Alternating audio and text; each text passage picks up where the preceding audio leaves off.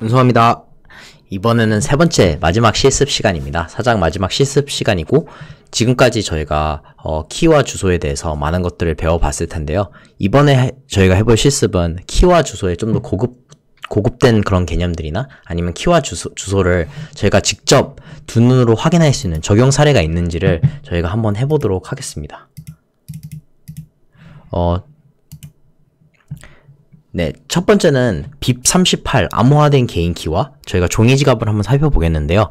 이전에 bitaddress.org에 들어가서 종이 지갑을 살펴본 거는 다 이제 아실 겁니다. 그래서 여기서 난수를 생성하기 위해서 어 여기에 랜덤한 캐릭터도 줬고 제가 이것을 이제 마우스를 움직이기 시작하면 난수가 이렇게 생성이 되는 것을 확인하실 수 있습니다. 어 여기서 나오는 주소는 여러분이 제대로 사용하시면 안 됩니다. 참고로. 제가 그만 생성한 주소 여기 private key도 보이고 public key도 비트코인 공개 키도 다 보이죠. 어 그래서 이- 여기 이걸 통해서 이제 제가 종이 지갑을 마- 쉽게 만들 수 있다는 걸 보실 수- 보실 수 있고요.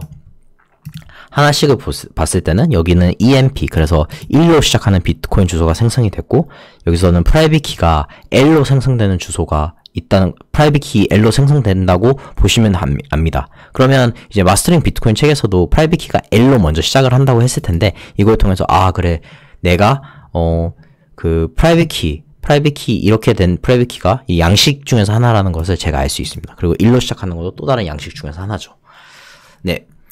어, 책에서 BIP38에 대해서 설명을 하는데요. 그럼 BIP38은 여기에 있는 비트코인 주소, 어, private key 이외에도 제가 추가적인 이제 비번을 설정을 하면 이 private key가 어, L4가 L4가 L이 아니라 다른 숫자로 6P로 시작하는 걸로 바뀐다는 것을 제가 들었는데 그러면 한번 BIP38로 암호화를 시켰을 때 그게 과연 되는가 한번 살펴보겠습니다.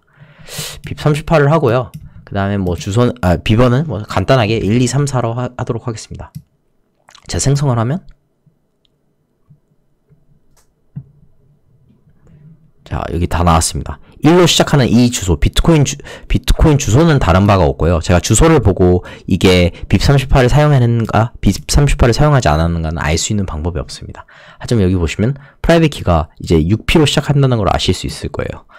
어, 과거에 이런 식으로 paper 지갑을 생성을 하시고 난 뒤에 그 다음에 BIP38을 거시고 여기에 비트코인을 보내셔가지고 나중에 추후에 제가 어, 암호화 이 비트코인 지갑이나 이런 어, 코인 지갑을 사용하는 영상을 만들었는데요. 거기서 어떻게 다시 import를 하시냐 물어보시는 분들이 많은데 대부분 어, 지갑 소프트웨어에서는 여기에 있는 private key를 여러분께서 스캔을 하시면 추가적으로 이게 BIP38이 되어 있다는 것을 알고 그 다음에 비번을 넣으라고 합니다. 그럼 여러분이 비번을 넣으시면 어, 여기에 있는 모든 private key, private key, 이, 이 지갑 안에 있는 모든 비트코인을 그 컴퓨터나 아니면 모바일 지갑으로 바로 이동을 한다는 것을 저희가 아실 수 있고요. 이걸 통해서 저희가 금방 본 거는 종이 지갑과 BIP38 암호화된 개인 키가 존재한다는 걸 볼 수 있었습니다. 두 번째로 저희가 살펴볼 거는요. P2SH, Pay to Script Hash와 다중 서명 주소. 어, P2SH와 다중 서명은 다르긴 하죠. 하지만 P2SH를 어, 이전에도 한번 봤지만 다시 한번 넘어가는 차원에서 본다면 여기에서 1로 시작하는 주소들이 이제 세구잇이 적용되기 전의 주소들이나 혹- 혹은 P2SH 주소가 아니라 어, P2PKH 그러니까 Pay to Public Key Hash 어, 공개 키 해시 값으로 나온 생성된 주소입니다. 그래서 다 1로 있다는 게 있다는 걸 보실 거, 보실 수 있고요. 여기 3으로 이제 된 주소들이 있는데 이것이 이제 P2SH 주소인지 아니면 세구이 주소인지는 제가 지금 당장은 알 수 있는 방법은 없고 여기에 들어가서 좀 더 살펴봐야 살펴봐야 하긴 함- 합니다만 어 이것을 통해서 아 P2SH 말로만 듣는 게 아니고 이런 게 실제로 존재한다는 것을 저희가 두 번째로 실습을 통해서 확인을 해볼 수 있었습니다. 어, 세 번째로 저희가 확인해 볼 것은 이번에는 꾸미기 주소에 관련된 건데요. 꾸미기 주, 주소의 대표적인 사례가 어, 이렇게 안드레아스 안토노플루스가 굉장히 대표적인 사례입니다. 어, 안드레아스의 페이지를 한번 살펴보시면 여기 아래 보면 안드레아스께 1 안드레아스 그 다음에 따라 붙는 이런 주소가 있다고 있다는 것을 볼 수 있습니다. 제가 만약 이거를 복사를 해서 비트코인 블록체인에다가 이걸 찾아보면 어떻게 될까요? 물론 제가 이렇게 검색을 했을 때는 어, 안드레아스가 지금까지 얼마나 많은 비트코인을 받았고 와 155개나 받았네요. 굉장히 많이 받았네요. 이전에 donation을 많이 받아서 축복받았다고 그런 말도 했죠. 지금은 이제 0.384 비트코인이 있다는 것을 저희가 확인을 할 수 있어요. 어, 이렇게 공개적으로 했는데요. 이것을 저 또한 이거를 만들 수 있습니다. 그래서 비트코인 vanity gen이라는 이 어, 꾸미기 주소를 만들어주는 사이트가 있습니다. 어, 꾸미기 주소에 대해서 말이 많았는 말이 많을 텐데 거기서는 뭐 집 그 한글 한국어판에서는 GPU로 이거를 채굴 하기 때문에 어느 정도 돈을 지불해야 된다라고 말을 했는데 여기 보시면 어 6개 캐릭터 그러니까 문자가 6, 6개 이상 6개를 제가 설정을 할 수 있고요. 그 이상으로 가기 시작하면 비트코인을 지불해야 되지만 음, 그 가격표를 여기 보여주고 우측에는 음, 그 case sensitive 그러니까 대문자 소문자를 제가 구분해서 만약 적는다면 다섯 개까지는 무료로 할 수 다섯 문자까지는 무료로 할 수 있고 여섯 문자, 일곱 문자, 여덟 문자는 할 수 있으나 아홉 문자는 지금 불가능하다고 합니다. 이게 뭐 A식으로 제가 찾는 게 아닐 수도 있기 때문에 진짜 진짜 이 비어있는 텅텅 비어있는 그런 비트코인 꾸미기 주소를 찾는 거는 힘들 수도 있다는 생각을 합니다. 그래서 여기에서 제 이름인 시연을 한번 쳐볼 텐데요. 그러면 제 시연이 정확히 여섯 글자이거든요. 그래서 SEE, UN을 치면 여기서 대표적인 얘가 나옵니다. 그래서 1S, 시연 이렇게 해서 주소가 나온다는 거 보실 수 있고 제가 이제 여기서 하나 하나 더를 추가하기 시작하면 여기 밑에 가격이 바뀐다는 걸 보실 수 있는데요.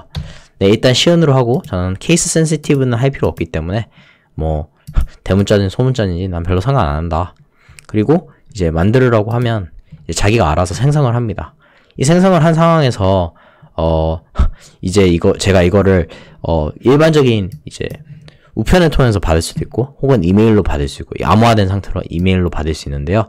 이런 식으로 해서 여러분이 꾸미기 주소를 만드실 수 있고, 이게 사실 안전하다고 제가 보장은 할 수 없는 게, 이 친구들이 이제 저를 대신해서 어떻게 보면 꾸미기 주소를 만들어 준 거잖아요. 그래서, 음, 이 웹사이트에 제가 명성을, 명성을 떠나서, 음, 여기서 받는 것이 안전하지 않을 수도 있고 그리고 꾸미기 주소라는 게 사실 재밌기는 하나 꾸미기 주소 나름의 그런 trade-off 보완적인 trade-off도 있고 어, 다양한 고려사항이 많기 때문에 비트코인은 기본적인 원칙인 한 거래당 한 주소를 사용하는 그런 원칙을 쓰시고 또 남들이 주소 제목만 보고 이게 누구의 주소인지 파악을 할 수 있다면 그것은 안 좋다고 저는 개인적으로 생각을 합니다.